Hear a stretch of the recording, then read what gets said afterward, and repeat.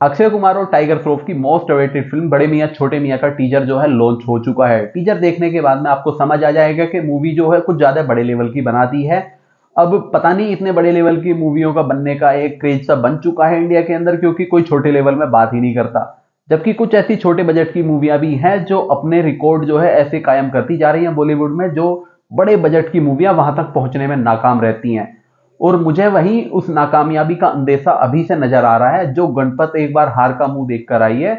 मुझे अभी से झलक दिखाई दे रही है कि ये मूवी भी उसके बिल्कुल मुहाने पर खड़ी है और सेम टू सेम इसके साथ भी वही कांड होने वाला है। भाई, मैं एक्शन का बहुत बड़ा फ़ैन हूँ और एक्शन मूवियाँ मुझे देखना बहुत ज़्यादा पसंद है।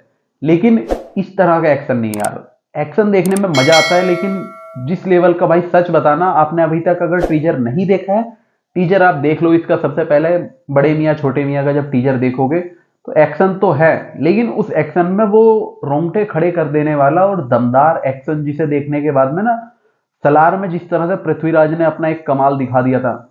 पृथ्वीराज इस मूवी में भी है, लेकिन वो मज़ा नहीं आ रहा है। देखने के बाद में विलन इतना पावरफुल है, उसके बावजूद भी अगर आपको नहीं मज़ा आए तो समझ लो मूवी की क्या दुर्गति होने वाली है। चलो देखते हैं। अभी तो सिर्फ़ टीजर लॉन्च हुआ है। हो सकता है कि इस मूवी की कहानी जो है निकलकर कुछ बेहतर आए। इस मूवी में एक दो सॉन्ग अगर अच्छा हुआ और इस मूवी की कहानी कुछ अच्छी निकली तो लग रहा है कि ये मूवी अच्छी जाएगी।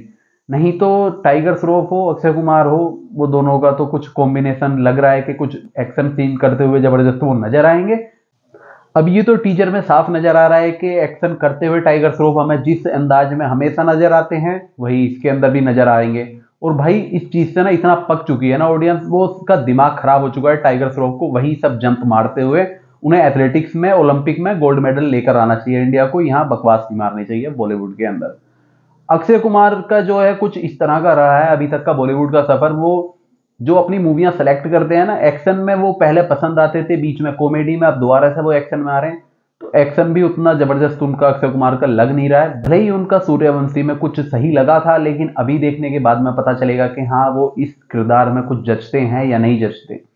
या बड़े मियाँ, छोटे मियाँ, जो एक हमारी क्लासिक मूवी बनी हुई है, उसका नाम खराब करने के लिए ये मूवी बनाई गई है। या इसका नाम ये रोशन कर देगी, ये तो आने के बाद ही पता चल जाएगा। 10 अप्रैल को ये मूवी रिलीज़ हो रही है, यानी कि 10 अप्रैल 2024 को रिलीज़ हो रही है। उस दिन है ईद का त्योहार। ईद पर ये मूवी क्या कहल ढाएगी बॉक्स ऑफ़िस पर, ये तो पता चलेगा बॉक्स ऑफ़िस पर आने के बाद।